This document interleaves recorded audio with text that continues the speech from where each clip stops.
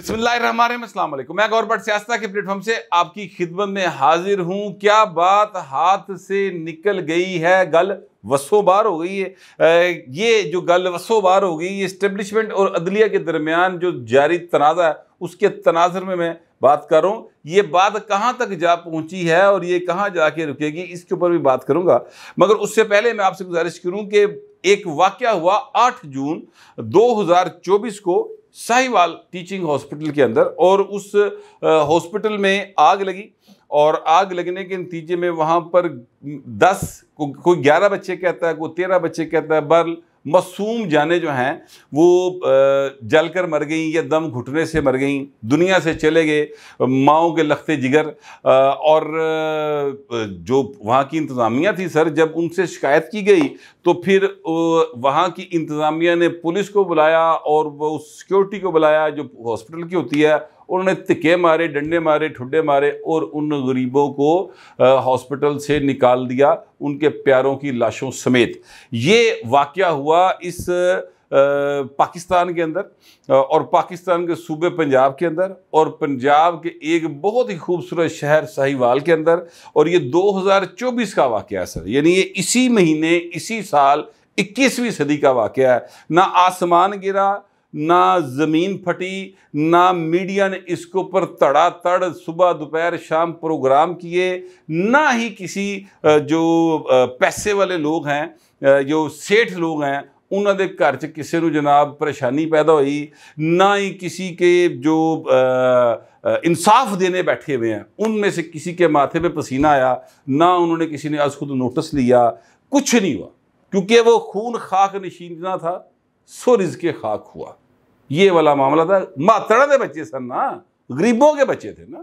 اس لیے مر مر گئے، خیر ہے، کوئی گل ختم ہو گئی گل۔ ہوا پھر یہ کہ مریم نواز شریف صاحبہ جو ہیں، انہوں نے اس کے اوپر لیا آج ایکشن اور جب ایکشن لیا اور انہوں نے پرنسپل جو اس ٹیچنگ ہاسپٹل کے تھے انہوں سمیت تھلے کر چار بندے جو ہے جو ڈاکٹرز تھے، ان کو سر انہوں نے نوکریوں پر خاص کیتا مقدمہ درج کروایا اور گرفتار کروا دی اب اس گرفتاری کے بعد وہاں پر، ابھی جب میں آپ سے ولاگ کر رہا ہوں، تو ابھی یہ خبریں آ رہی ہیں کہ وہاں پر نرسز نے بھی اور ڈاکٹرز نے بھی ہڑتال کر دی ہے اور جناب کوحرام بپا کر دیا ہے اور نعرے مار رہے کہ ساڑھے صاحب بال کرو۔ اچھا اب یہ اس وقت کنڈیشن ہے، ایک ایسے ایکشن کے خلاف لوگ احتجاج کر رہے ہیں جو نرسز ہیں یا ڈاکٹرز ہیں، جو کہ ایکشن آٹھ تاریخ کو واقعہ ہوا تو نو تاریخ کو ہو جانا چاہیے تھا۔ یہ اتنی لیٹ ہوا۔ یہ جو حالات ہیں نا، اس اس کو کہتے ہیں بلیک میلنگ سدھی سدھی بلیک میلنگ ہو رہی ہے۔ کہ ساڈے بندے بحال کر دیو، ورنہ اسی جڑا نا سڑکاں تے آواں گے تے کام نہیں کریں گے آپ وکلا سے کہیں، یار ہے سائیکلاں، موٹر سائیکلاں، گڈیاں ذرا سائڈ تے کر کے لا لو۔ وہ کہتے جناب اتنے انصاف تے حملہ ہو گیا۔ بس جناب، عدلیہ بحالی تحریک شروع ہوگی اور کچھ نہیں ہو سکتا۔ وہ ہڑتالہ شروع کر دیتے۔ آپ صحافیوں سے کہیں کہ جناب یہ حد تک عزت کا بل ہے، یہ قانون بنانا جو ہے وہ پنجاب اسمبلی کا حق ہے۔ اسی کام کے لیے لوگ الیکٹ ہوتے ہیں، انہوں نے قانون بنایا۔ یا تو آپ اپنی اس میں ان پٹ دے دیں، نہیں تو پھر ہم نے یہ قانون بنا دیا۔ ہے سر، اس کے بعد پھر آزادی اظہار خطرے میں پڑ جاتا ہے اور رولہ پیڑے شروع دے۔ اچھا اسی طرح آپ آڑتیوں کے حوالے سے کچھ کرنے کی کوشش کریں آڑتی ہڑتال کر دیں جہے پاسے جاؤ پائے وہی پاسا جڑا نا وہ تھے گلے نو پائی جاتا ہے یعنی وہ کیا تھا کہ جس کا گلا دباؤ وہ آنکھیں نکالتا ہے جہاں پنو وہی لال والا سین جڑا اس وقت چلتا پیا جائے تو یہ وہ حالات ہیں جن کے اندر اس وقت پاکستان جو ہے نا، اس کو آگے بڑھانے کی باتیں کی جا رہی ہیں۔ ویسے یہ آج سے نہیں ہے ایک مدت سے ہیں اور ہوں تے اسی یوز ٹو ہو گئے لاہور کے اندر چلڈرن ہاسپٹل آگے لگی کنے بچے مارے کھ نہیں ہویا۔ یہ سروسز ہاسپٹل آگ لگی، گنگا رام آگ لگی، بچے مر گئے مریض مر گئے، کچھ نہیں ہوا یہ پی آئی سی کے اندر جعلی دوائیاں دے کے کنے بڑے پیشنٹ مارتے کھ نہیں لیا۔ ٹھیک ہے؟ شباز شریف کی حکومت تھی، کچھ نہیں ہوا جو عثمان بزدار کی گورنمنٹ تھی، اس کے دوران پتہ نہیں کیا کیا ہوتا رہا، کسی نے کچھ نہیں ہوا۔ اس واقعے پر کیا کچھ ہوگا؟ کیا یہ ذمہ داران جو ہیں، ان کے خلاف ایکشن ہوگا؟ سر، یہ ایک سوال کا نشان ہے۔ یعنی جو حکومتی سطح پر ایکشن ہے، وہ تو ہو گیا۔ عدالتوں میں سے سزا ملے گی کہ نہیں ملے گی؟ یہ میرے علم میں نہیں ہے۔ یہ عدالت جانے تو وہ جو وکیل پیش ہوں گے، جو استغاثہ ہوگا، اس کے مطابق جا کے چیزیں چلیں گی۔ انصاف ہو سکے گا؟ نہیں ہو سکے گا۔ میرے علم میں نہیں ہے۔ لیکن میں اتنا ضرور جانتا ہوں کہ اس وقت پاکستان کے اندر ہر دوجا طبقہ بلیک میلنگ پر اترا ہوا ہے اور سب سے کمزور جو نظر آتا ہے نا، وہ حکومت نظر آتی ہے تو حکومت تے سارے جنے چڑھ دوڑ دے ہیں کہ جناب ایتے اسی نہیں ساڑھے نال نہیں ہوئے گا، اسی نہیں ہوں دیا گے۔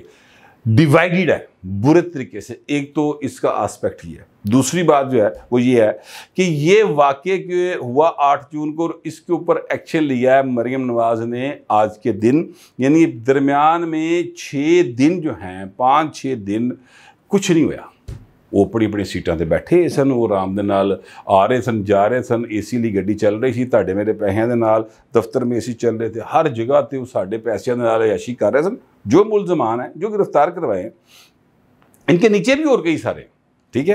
وہ بھی گرفتار کروانے چاہیے۔ ہوں گے نہیں ہوں گے مجھے نہیں پتا، لیکن میں آپ کو بتاتا ہوں کہ کون کون اس میں ملوث ہو سکتا ہے یا کس کس کی رسپانسبلٹی تھی۔ ان چھ سات دنوں میں کچھ نہیں ہوا، سر۔ سیکٹری ہیلتھ دے وتھے دے پسینہ نہیں آیا۔ سیکٹری ہیلتھ کو سر، جب وزیر اعلیٰ پنجاب جو ہیں، وہ کہیں گی کہ علی، آپ میری سیٹ پر بیٹھیں وہ منسٹر دی گل نہیں سنتا، وہ فون نہیں سنتا۔ تو سیکٹری ہیلتھ تو سر، اس وقت ایسے ہوا میں۔ سارے بیوروکریٹ ہیں، اتے اتے۔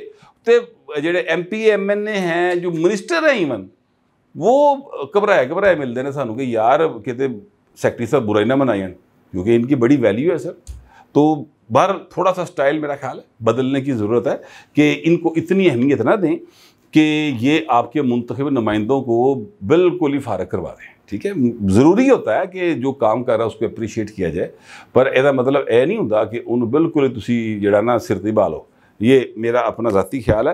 اینی ہاؤ معاملہ یہ ہے کہ سیکٹری اب تو چلے مصروف ہو گئے۔ ان کو تو بہت بڑے بڑے ٹاسک جو ہیں وہ سی ایم صاحبہ نے دیے، اس میں مصروف ہو گئے۔ سی او جڑا ایسی ہیلتھ سائی والدہ وہ کی کرتا ویسی جو سی ای او صاحب تھے، یہ کیا کر رہے تھے؟ پل گولیاں کھیٹ رہے سن ہوتے اتنا بڑا واقعہ ہو گیا۔ انہوں نے کوئی ایکشن کیوں نہیں لیا؟ اوکے اس کے بعد ایک چیز ہوتی ہے، کوئی بھی بلڈنگ ہو نا سرکاری یا غیر سرکاری جہاں پر عام آدمی کی آمد و رفت ہو جو پبلک جہاں پر جس کا انٹریکشن ہو سر قانون یہ ہے کہ وہاں پر آپ نے ہر سال اس کا فٹنس سرٹیفکیٹ حاصل کرنا ہے۔ ٹھیک ہے؟ پھر وہاں پر اگر کوئی واقعہ، جیسے یہ واقعہ ہو گیا، وہ ہو گیا، تو وہ جو فائر بریگیڈ آنی ہے، وہ تو بعد چوانی ہے؟ سب سے پہلے تو آپ کا وہاں پر ریسکیو کا اپنا ایک انتظام ہوتا ہے۔ پورا سسٹم ہوتا ہے۔ وہاں پہ آلات لگے ہوتے وہ آلات لگے سن ایکسپائر ہوئے سن۔ انہیں شیواں مکیاں پہ سن۔ ٹھیک ہے؟ جو وہاں پہ عملہ تھا، ان کو وہ چیزیں استعمال کرنی نہیں آتی تھیں۔ سر، غریبوں کے بچے مر گئے، سر۔ آج مریم نواز نے ایکشن لیا ہے تو کچھ ہوا ہے۔ اگر مریم نواز ایکشن نہ لیتی یار وہ سی ایم ہے۔ پنجاب کی بارہ چودہ کروڑ کا صوبہ ہے وہ کول صرف ایک یہو جہ واقعات ایکشن لین کا ٹائم تو نہیں نا مطلب اگر اس نے ایکشن لے لیا تو یہ تو ان کی مہربانی ہے اگر وہ نہ لیں تو یہ باقی دا سارا دا پورا دا پورا سٹاف رکھا ہے پوری دی پوری ہرارکی رکھی ہے یہ بھائی نے کد نہیں رکھی ہے یہ تھے میرے پیسوں کی عیاشی کرنی رکھی ہے یہ جو ہڑتال کر کے بیٹھے ہیں نرسز ہیں ڈاکٹرز ہیں یا دیگر عملہ جو بیٹھا ہے میں تو ویسے اگر ہوتا سی ایم تے میرا تے فیصلہ کچھ اور ہوں یا میرا تے دل ایسا کہ جڑا نا کر رہا ہے کہ میں کوئی اور ایکشن لیتا ہوں وہ میں اب خیر بیان نہیں کرنا چاہتا کیونکہ جذبات میں کی بھی باتیں درست نہیں ہوتی ہیں لیکن باہر بلیک میلنگ نہیں ہونی چاہیے اور بلیک میل نہیں ہونا چاہیے ایسے ہتھ کرنوں سے نشان عبرت بنا دینا چاہیے ہر اس شخص کو جو اس جرم میں شریک ہے۔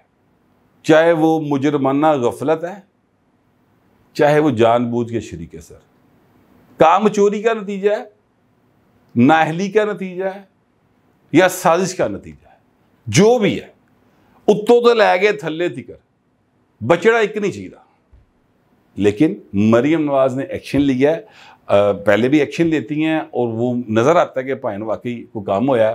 اب پھر انہوں نے ایکشن لیا ہے۔ امید یہی ہے کہ بچے گا کوئی نہیں۔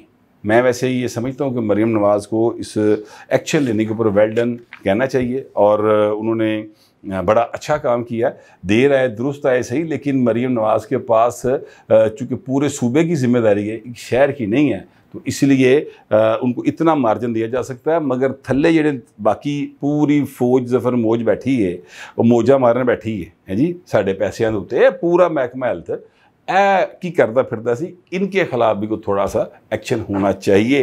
میری کم از کم یہ رہا ہے۔ اچھا میں آپ سے گزارش کروں، ایک کافی دنوں سے یہ سین چل رہا ہے کہ جناب گل وسو باہر ہوئی جائے اور جو ہے اپنا اسٹیبلشمنٹ اور عدلیہ فوج اور عدلیہ سیدھی گل کریے وہ پائے نے ایک دوجے نال بالکل تاون نہیں ہو رہا تو گلاں جڑی نو باہر ہو گئی نے اور چیزیں ہاتھ میں نہیں آ رہی یہ باتیں کی جا رہی تھی کوئی بندہ کھل کے اس پہ بات نہیں کر رہا تھا آج chief justice Lahore high court, Malik Shahzad Ahmad Khan صاحب، جو کہ اب سپریم کورٹ کے جج بننے جا رہے ہیں۔ مظاہر ہے کہ وہ اگلے میرے خیال کچھ ایک دو روز میں شاید وہ چلے جائیں گے سپریم کورٹ کا جج کا حلف لے لیں گے۔ لیکن یہ ہے کہ انہوں نے آج ایک خطاب کیا اور اس میں انہوں نے بڑا کھل کے بات کی ہے کہ اسٹیبلشمنٹ جو ہے نا، وہ مداخلت کرتی ہے۔ اور امید ہے کہ جو ہماری عدلیہ ہے، اس کی اسٹیبلشمنٹ کی مداخلت کے خلاف جد و جہد جاری ہے اور یہ جلد مداخلت کا اختتام ہو جائے گا۔ یہ بات وہ کہہ رہے ہیں اور ساتھ ہی ساتھ وہ کہہ رہے ہیں کہ مداخلت کا سامنا آنکھوں میں آنکھیں ڈال کر کیا جا رہا ہے۔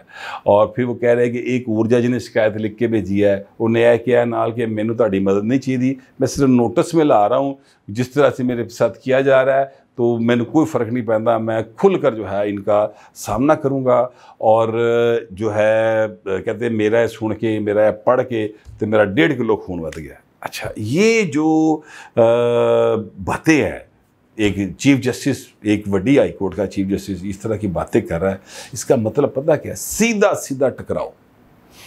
براہ راست سدھی کاندھی ٹکر۔ اس کا مطلب یہ ہے کہ پورے کا پورا سسٹم جو ہے نا، اس کو آپ جیم کر دیں۔ اور سیدھا سیدھا ٹکراؤ کی پالیسی ہے۔ میں بالکل یہ نہیں کہہ رہا کہ چیف صاحب غلط کہہ رہے ہیں۔ میں بالکل یہ نہیں کہہ رہا کہ جو لوگ چیف صاحب کو غلط سمجھتے ہیں، وہ ٹھیک کہہ رہے ہیں۔